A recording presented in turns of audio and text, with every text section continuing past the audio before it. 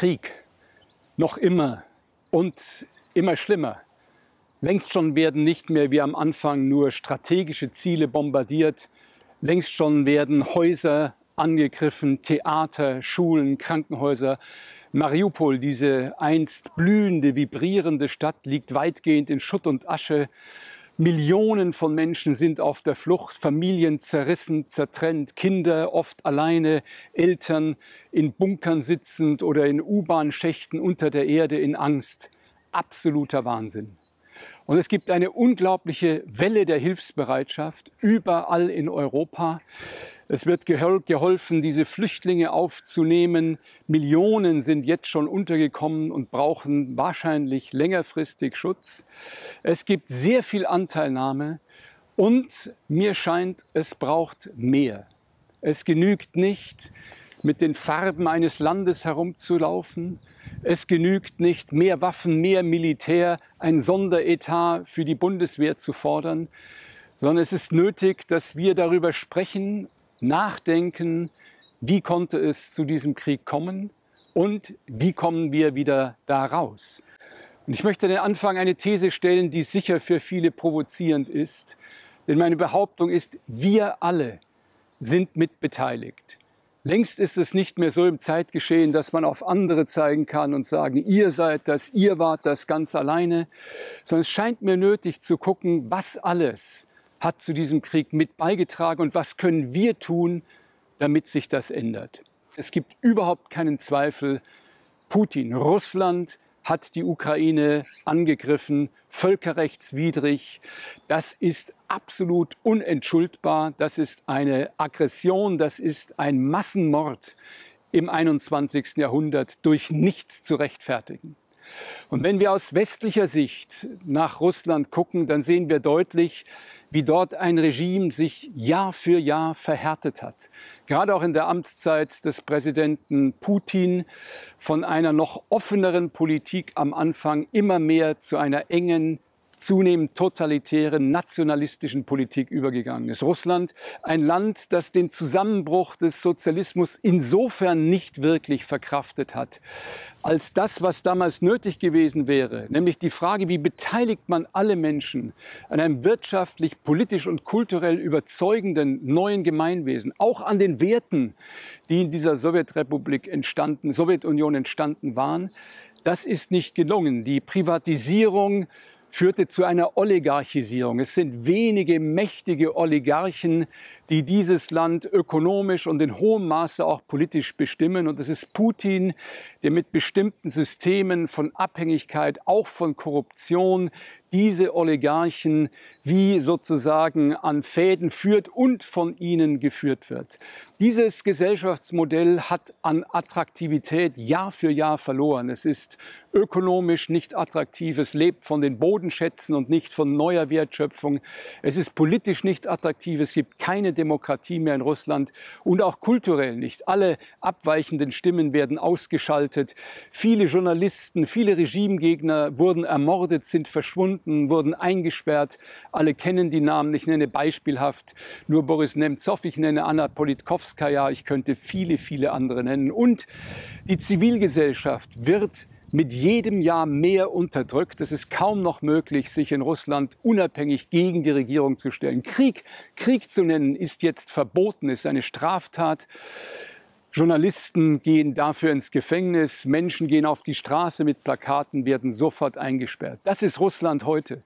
Und dieses Russland heute, sozusagen im Verlust jedweder Attraktivität seines Gemeinwesens, hat sich mehr und mehr verlegt auf ein Träumen von verflossenen Zeiten, von einer vergangenen Größe, einem Imperium, das es längst nicht mehr gibt. Und das ist die Politik, die Putin im Kern verfolgt, dieses russische Imperium wiederherzustellen, mit der gefährlichen, mit der völlig inakzeptablen Idee, überall da, wo Russisch gesprochen wird, überall da, wo Russisch einmal gesprochen wurde, wurde überall da, solle ja müsse Russland sein. So auch die Argumentation gegenüber der Ukraine, die aus russischer Sicht gar nicht als eigenes Land wirklich anerkannt wird, obwohl sie sich 1990 völkerrechtskonform durch eine Volksabstimmung unabhängig erklärt hat, sondern die Russland eigentlich nur als ein Grenzland betrachtet.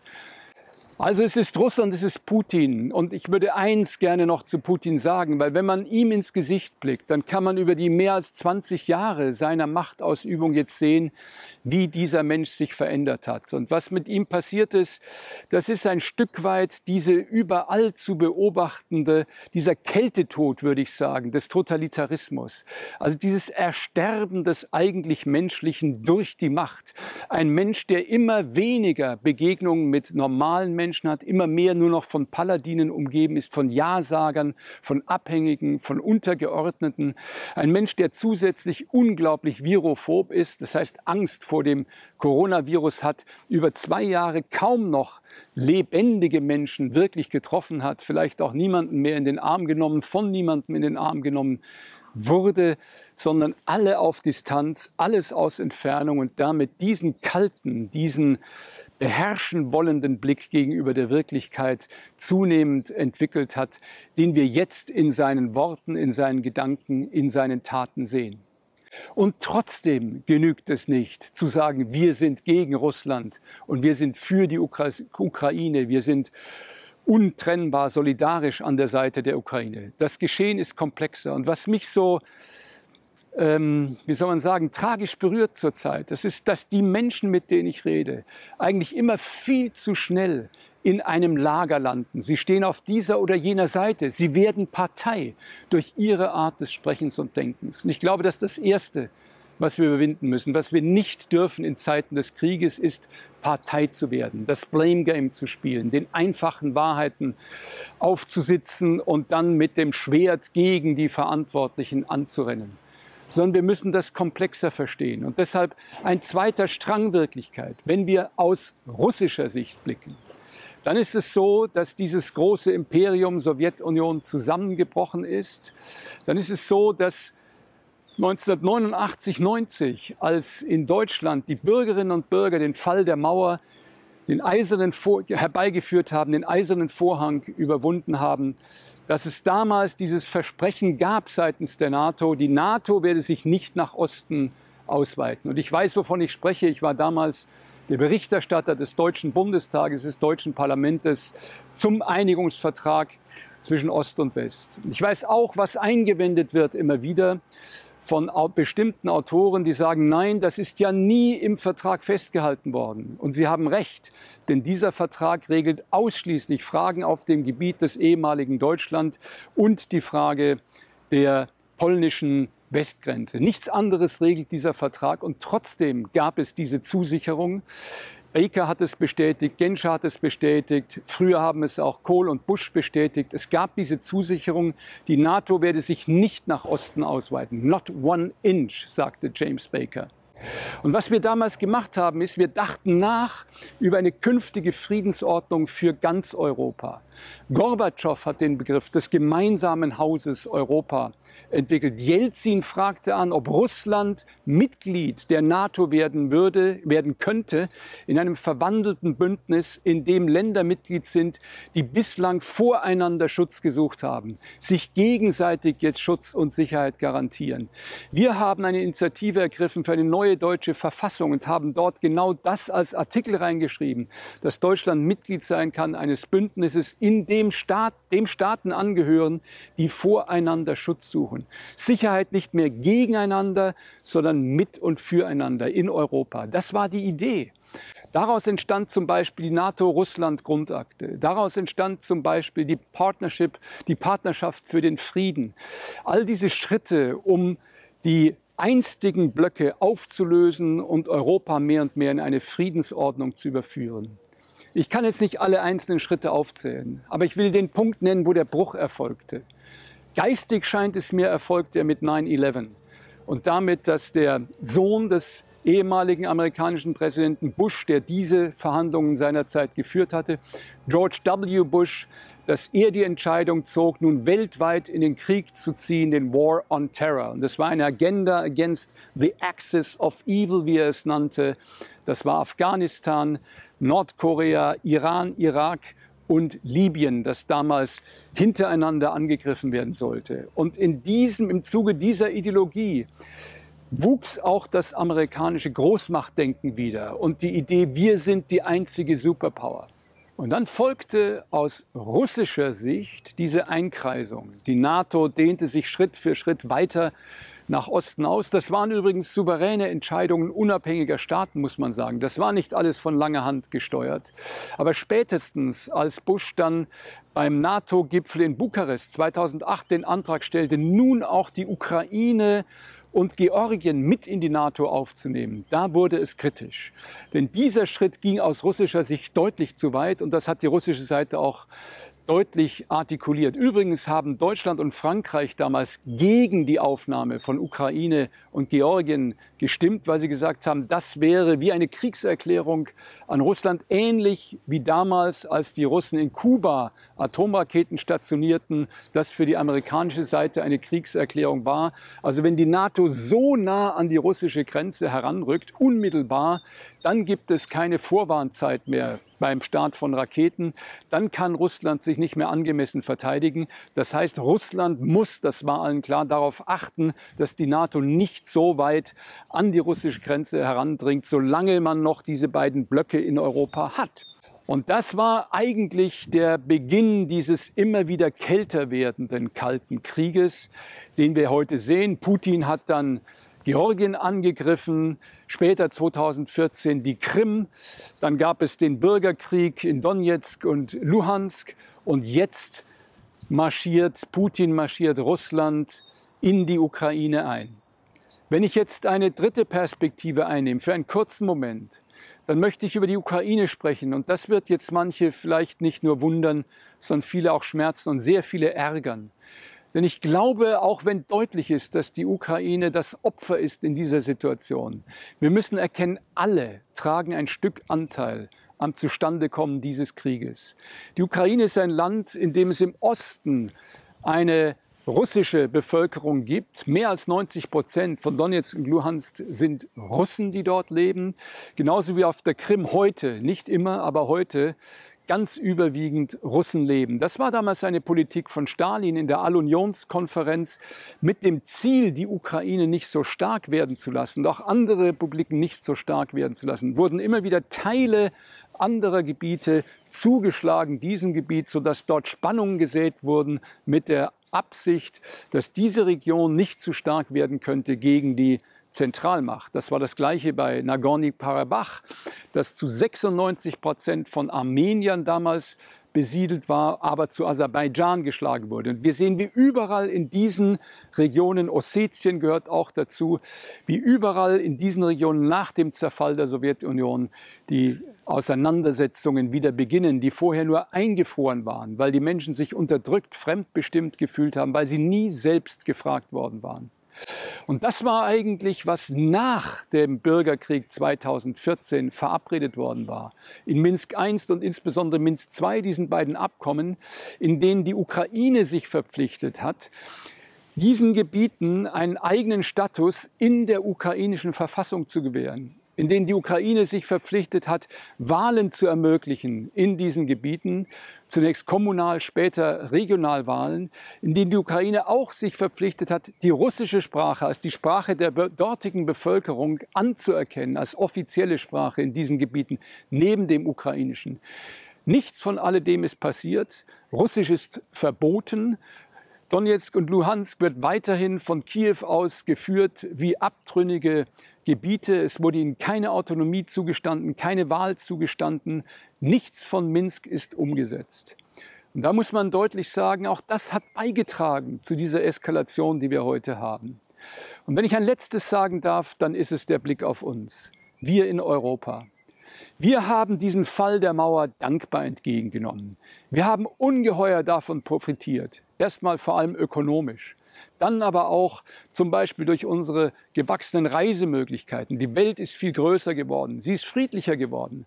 Wir müssen uns nicht mehr so bedroht fühlen und wir sehen das auch zum Beispiel am jetzigen Zustand der Bundesregierung, an der Abschaffung der Wehrpflicht, an vielen anderen langfristigen Effekten, die dieser Schritt hatte. Aber wir haben eines nicht gemacht.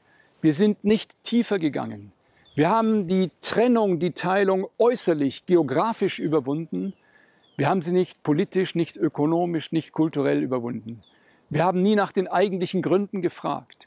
Es war eine menschheitliche Auseinandersetzung, die dazu geführt hat, dass ein System stand, das die Freiheit über alles gestellt aber die Brüderlichkeit, die Sozialität mit Füßen getreten hat und ein System, das die Brüderlichkeit über alles gestellt hat, den Kommunismus, Sozialismus, aber die Freiheit mit Füßen getreten hat, sodass es mehr und mehr wie ein großes Archipel Gulag wurde, während das andere wie ein riesen Casino wurde, in dem jeder Mensch reich werden kann, aber neben seiner Türe andere nicht wissen, wie sie das Jahr noch überleben sollen oder was sie ihren Kindern zum Geburtstag schenken sollen, weil sie einfach kein Geld haben. Dieses Auseinanderklaffen von Arm und Reich auf der einen Seite und diese Unterdrückung jedes abweichenden Gedanken, jeder abweichenden Idee auf der anderen Seite.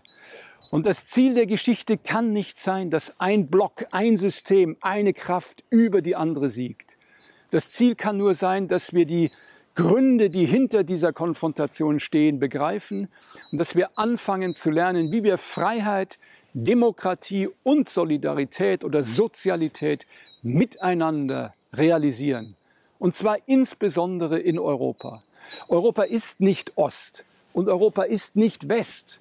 Europa ist Europa, also von Europa aus gesehen ist das die Mitte zwischen Ost und West und muss diese beiden Kräfte integrieren. Europa muss Freiheit, garantieren, muss Demokratie entwickeln und sichern. Aber Europa muss eben auch die Sozialität, das heißt die Geschwisterlichkeit im Wirtschaftlichen, das Füreinander-Dasein, das nicht gegeneinander kämpfen, nicht den Kampf aller gegen alle, sondern wie können wir durch unser Arbeiten, durch unser Handeln Gutes schaffen für andere Menschen. Das muss Europa in Freiheit und Demokratie realisieren. Und in dem Maße, in dem wir diese Aufgabe realisieren, werden wir die Spannungen zwischen Ost und West abbauen und werden ein attraktives Modell gewinnen, das nicht Waffen braucht, um verbreitet zu werden, sondern Überzeugungen. Und das wäre der Vorschlag jetzt, wenn wir nach vorne blicken für die Ukraine. Denn ganz klar ist, dieser Krieg wird kein Ende auf dem Schlachtfeld finden. Er kann als Krieg gar nicht gewonnen werden. Putin ist ein Krieg in einen Krieg gezogen, den er nicht gewinnen kann. Ich erinnere keinen Angriffskrieg in den letzten Jahrzehnten, der in diesem Sinne jemals erfolgreich gewesen wäre. Jeder Krieg endet in einem Desaster. Und dieser Krieg muss enden so schnell wie möglich. Und er kann nur enden durch Gespräche, durch Frieden. Wo könnte eine Lösung liegen? Sie kann nicht darin liegen, die Ukraine nach der einen oder anderen Seite zu zerren, was im Moment passiert. Das Tauziehen zwischen Ost und West führt nur eine, zu einer ständigen Verschlimmerung der Situation. Eine Lösung kann nur darin liegen, der Ukraine von beiden Seiten, von Ost wie West, ihre Autonomie, ihre Selbstbestimmung zu gewähren und gleichzeitig dafür zu sorgen, dass dieses Land keine Bedrohung sein kann für andere. Das heißt, eine Neutralität der Ukraine, die von der Völkergemeinschaft garantiert wird, durch UNO-Soldaten, nicht durch die NATO gesichert. Das könnte ein Weg aus diesem Krieg sein. Und das Zweite ist Autonomie für Donetsk und Luhansk, Selbstbestimmung, genau wie in Südtirol zum Beispiel in Italien, wo diese Selbstbestimmung für Südtirol endlich die bewaffneten Auseinandersetzungen, den Terrorismus, die Gewalt beendet hat weil es darum geht, dass Menschen selbst über ihr Leben entscheiden können und nicht mehr Unterworfene sind unter eine fremde Macht, nicht mehr Bauernfiguren auf einem Schachbrett, sondern es geht darum, dass wir in Europa, und das ist unser Versäumnis, dass wir diese Idee Freiheit, Demokratie und Geschwisterlichkeit wirklich zu vereinen, das müssen wir entwickeln, aktiv lernen. Es geht nicht, dass wir ein Wirtschaftsmodell weiter tolerieren, das Ausbeutung und Plünderung der Erde und der Umwelt weiter betreibt, das Kampf aller gegen alle betreibt und auf Dauer mehr Kälte erzeugt als Wärme, mehr soziale Ungleichheit als sozialen Frieden. Und es geht auch nicht, dass wir eine Demokratie haben, in der die Menschen reine Zuschauer sind gegenüber den Ereignissen und nur alle vier oder fünf Jahre ihre Machthaber neu wählen können, sondern wir brauchen eine Demokratie, die die Bürgerinnen und Bürger wirklich zum Souverän erhebt.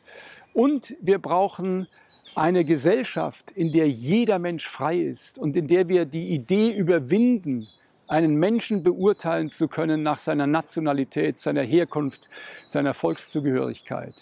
Es muss vorbei sein dass Länder gegeneinander Krieg führen, dass man sagt, ich schieße auf dich, weil du Ukrainer bist und ich Russe. Jeder Mensch ist ein Individuum, hat die Menschenwürde, unteilbar. Diese Menschenwürde verbindet uns alle und es geht darum, jedem Menschen zu ermöglichen, Frieden und Freiheit zu leben und sein Leben aktiv als Bürger mitzugestalten.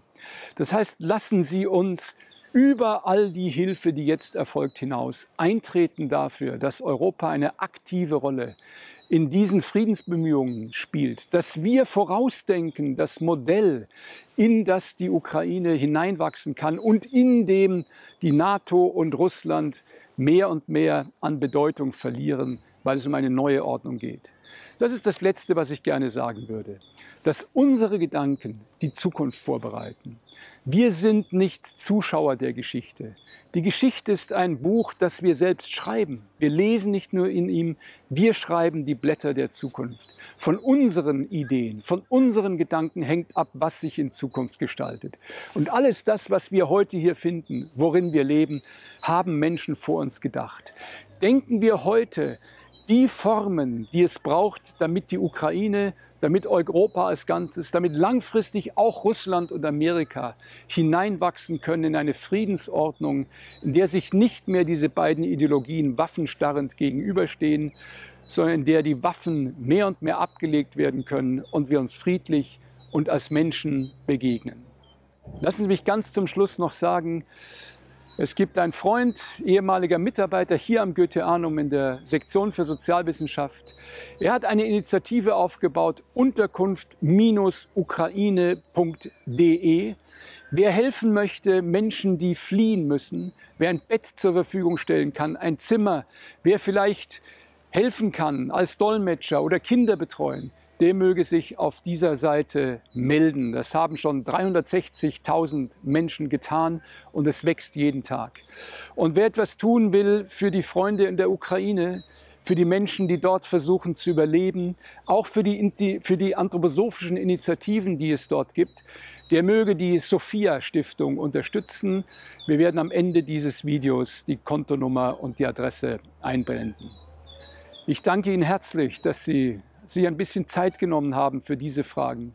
Und ich würde mich freuen, wenn wir alle uns fragen, was kann ich heute und jetzt beitragen durch konkrete Hilfe, aber auch durch neue Gedanken, durch Gespräche, vielleicht auch durch politische Aktion, um mitzuhelfen, dass es besser wird.